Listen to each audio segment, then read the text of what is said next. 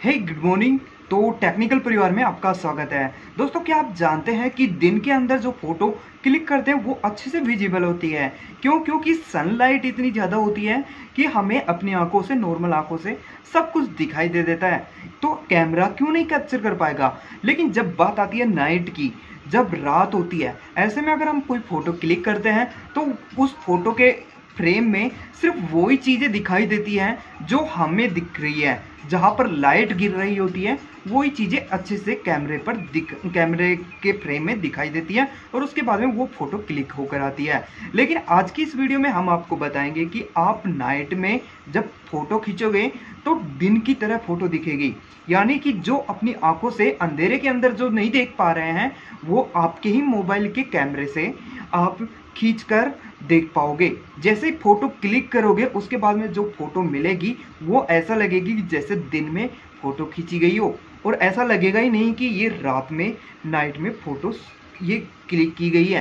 क्यों? क्योंकि उसमें सब कुछ क्लियरली जो कैमरे के सामने था, वो सब कुछ दिख जाएगा, चाहे कितना ही गहरा अंधेरा हो। तो ये वीडियो एंड तक तो देखने को बनता है। इसलिए बोल रहा हूँ गाइज़ वीडियो पसंद आए तो लाइक ज़रूर करना। और कमेंट करना चैनल को अभी तक सब्सक्राइब नहीं किया? यार वेट किस बात का कर लो। तो चलिए वीडियो स्टार्ट करें। इससे पहले आपको मोबाइल में चलना होगा। आपके अंधेरे के अंदर दिन की तरह फ़ोटो खींच सकते हैं। अगर रात के अंधेरे में आपको कुछ नहीं दिखाई दे रहा, अगर आप फ़ोटो खींचेंगे तो उस अंधेरे की में जो भी चीज़ें रखी हुई हैं, वो आपको सब कुछ कैमरे के अंदर दिख जाएँगी। वो कैसे मैं आपको प्रैक्टिकल करके दिखाने वाला हूँ। आगे बढ़ो। इससे पहले इस वीडियो को लाइक कर देना, कमेंट कर देना और वीडियो कैसा लगे मुझे ज़रूर बताना। हाँ वीडियो एंड तक ज़रूर देखना, उसके बाद में ही मुझे कमेंट करके ज़रूर बताना। तो चलिए, सबसे पहले मैं कैमरा खोल लेता हूँ। अभी आप देख सकते हैं कि नाइट हो रही है, पूरी तरीके से सब कुछ चारों ओर अंधेरा अंधेरा दिख रहा है, लेकिन चाँद की रोशनी है।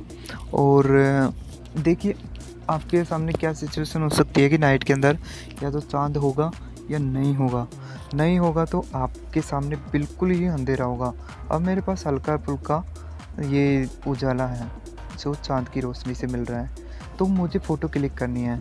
अगर मैं देखिए यहाँ पर इस फ़ोटो को मैं नॉर्मल मोड में फ़ोटो क्लिक करता हूँ, जैसे नॉर्मल मोड में मैंने फ़ोटो की तो कुछ ऐसी पिक दिखेगी। ये देखिए, ये कुछ ज़्यादा खास नहीं दिख रही और मुझे ना पेड़ पौधे दिख रहे और ये सब कुछ काला काला सा दिख रहा है। तो मैं क्या करूँगा, पीछे जाता हूँ, नाइट मोड में जाता हूँ। नाइट मोड मेरे फ़ोन में दिया हुआ है। अगर मैं नाइट मोड में जाकर फ़ोटो क्लिक करने की कोशिश करता हूँ तो कुछ सेकेंड्स आपको यहाँ पर लगानी पड़ेगी। लेकिन फिर भी यहाँ पर देखिए कुछ खास रिज़ल्ट नहीं आया। पहले वाले से मोड से भी ज़्यादा बत्ती रिज़ल्ट हमें यहाँ पर देखने को मिला है। चलिए मैं पीछे कर देता हूँ इसको। अब यहाँ पर एक एक्सपर्ट या फिर मोर वाला ऑप्शन दिया होगा। इसके बाद में मोर के अंदर एक्सपर्ट पैनोरमा स्लो मोशन और काफ़ी सारे यहाँ पर मोड दिए गए हैं। तो मैं यहाँ पर एक्सपर्ट में जाता हूँ या फिर प्रो में जाता हूँ। तो जैसे मैं एक्सपर्ट में जाता हूँ, इसके बाद में पाँच सेटिंग के बटन आते हैं। हो सकता है आपके में ज़्यादा मिल जाएँ। तो आपको इनमें से कुछ नहीं छेड़ना है।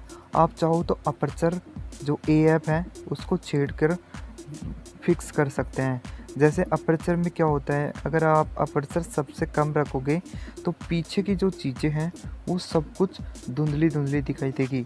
अगर आप अपर्चर हाई रखते हैं जो जो सबसे पास की चीज़ें वो क्लियर दिखेगी। बाग सॉरी जो पीछे की चीज़ें हैं, वो सारी क्लियर दिखेंगी और जो पास की चीज़ है, वो ब्लर दिखेगी। अगर हम अपर्चर को ज़ीरो कर देते हैं तो पीछे पीछे की चीज़ें ऐसे धुंधली धुंधली दिखने लग जाएँगी और पास की चीज़ क्लियर दिखेगी। तो इसलिए मैं यहाँ पर पूरे सीन की फ़ोटो लेना चाहता हूँ। जो भी ये सीन दिख रहा है, अंधेरे के अंदर जो है, उसको देखना चाहता हूँ। तो मैं क्या करूँगा? अपर्चर सबसे हाई कर लूँगा। ओके मैंने सबसे हाई कर लिया अपर्चर अब आता है सबसे इम्पोर्टेंट दो सेटिंग दो ये सेटिंग कौन सी है? सबसे पहली है शटर स्पीड शटर स्पीड आपको यहाँ पर मैं आठ सेकंड कर लेता हूँ या दस सेकंड कर लेता हूँ। आप चाहो तो ज़्यादा अंधेरा है तो बत्तीस या सोलह कर सकते हैं। लेकिन मैं यहाँ पर आठ सेकंड कर लेता हूँ। और यहाँ पर आई एस ओ वो अभी देखिए आई एस ओ में मैक्सिमम रखता, अगर प्योर अंधेरा होता तो मैं मैक्सिमम रखता, बत्तीस बत्तीस सौ आई एस ओ रखता। लेकिन अभी इतना अंधेरा नहीं है, थोड़ा बहुत इसका उजाला है, यानी चंद्रमा का। इसलिए मैं आईएसओ को हज़ार कर लेता हूँ, या ग्यारह सौ कर लेता हूँ। चलिए मैं हज़ार कर लेता हूँ। यहाँ पर देखिए, हमने शटर स्पीड आठ सेकंड रखी है। इसका मतलब है कि जब आप फ़ोटो क्लिक करोगे तो आठ सेकंड तक प्रोसेसिंग होगी।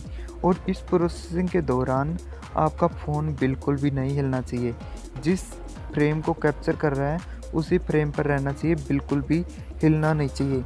इसलिए फ़ोन को पहले ही कहीं एक जगह सेट कर ले या फिर आप ट्राईपोड पर सेट कर दें और जैसे बटन दबा बटन दबा देंगे, उसके बाद में आपको फ़ोन को हिलाना नहीं है, बिल्कुल भी।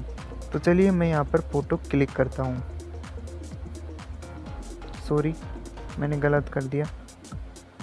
चलिए मैं अब फ़ोटो क्लिक करता हूँ।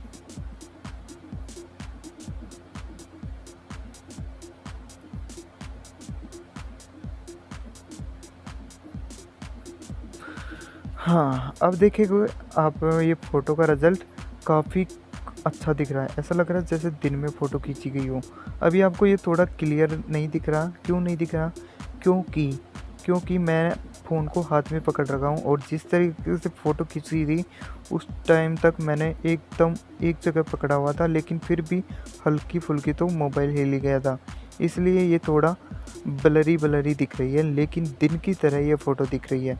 ऐसा लग रहा है जैसे दिन में ये फ़ोटो खींची गई हो, लेकिन नॉर्मल मोड वाली पिक्चर देखोगे तो आप कुछ इस तरीके से दिखाई देगी। और जैसे ही मैं ये सेटिंग करके फ़ोटो खींचा तो कुछ इस तरीके की फ़ोटो आई।